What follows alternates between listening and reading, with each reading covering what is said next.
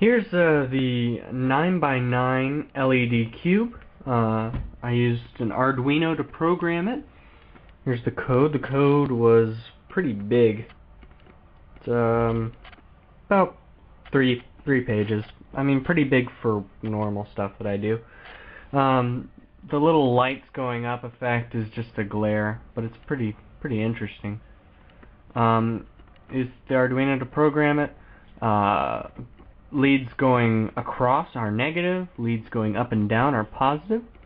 I use persistence of vision to light up multiple LEDs at the same time because otherwise it would just light up multiple ones on the same row. So um, here it is and it rotates around then goes down and then goes down all the way. It's a little bit of an optical illusion and uh, it's a little harder to see on the 9x9 uh, on the 5x5 or 6x6 it would probably be a little more visible. I said a 3x3, yes, this is a 3x3, not a 9x9. It would be easier to see on a 9x9. Um, so, I used a breadboard for, you know, just uh, putting the circuits together.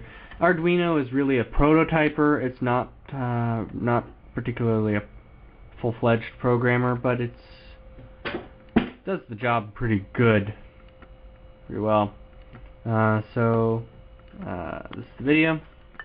Here's the code. I uh, hope you